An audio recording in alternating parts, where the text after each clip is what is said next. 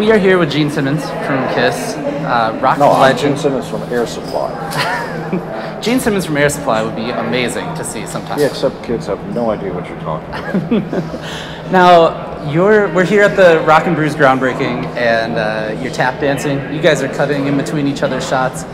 It seems like you're having a great time here on the end of the road tour. We're, we're the luckiest folks who ever walked upright. Uh, not only Rock and Brews, but we get to wear more makeup and higher heels than your camera woman over there. and, uh, and you have to be grateful. You can't be full of yourself. You have everything that's given to us, mostly for free. When I was uh, poor and making a buck 25 an hour, real, Nobody came up to me and said, "Oh, you like those sneakers? Here, we'll send you a dozen. Oh, you like you like that car? Here."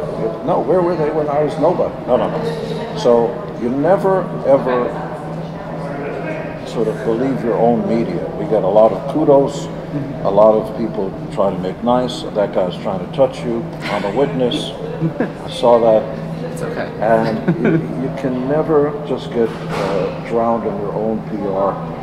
You've got to be humble to the extent that I can be, but always understand that without the fans, that goes for you too, without the people out there, you and I'd be asking the next person would like some fries with that. always be humble, understand that we just work here.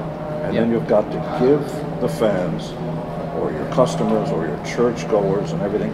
The guy in the pulpit, he's not the big deal. The people sitting in the pulpit are the big deal. Yeah, absolutely.